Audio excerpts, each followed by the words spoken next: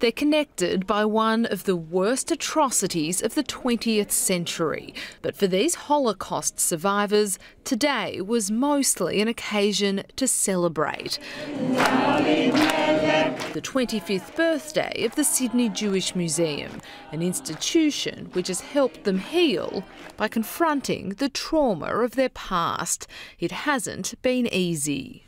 The first time I was here, when I came home, I couldn't sleep, I couldn't eat. Every memory came back.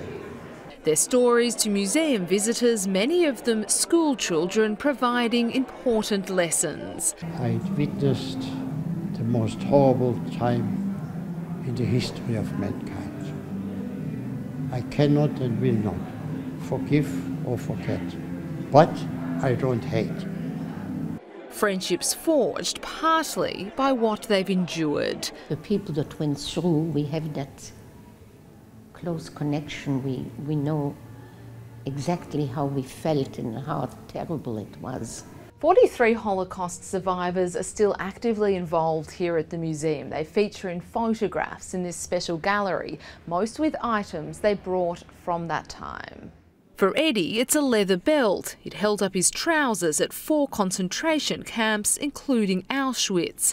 He's worried, though, that the world hasn't learned.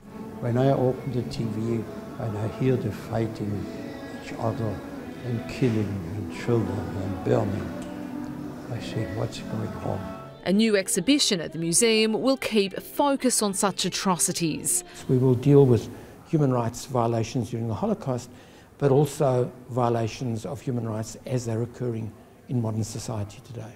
These survivors conceding they can't change what has happened, but adamant they can help change the future. Helen Ispista, SBS World News.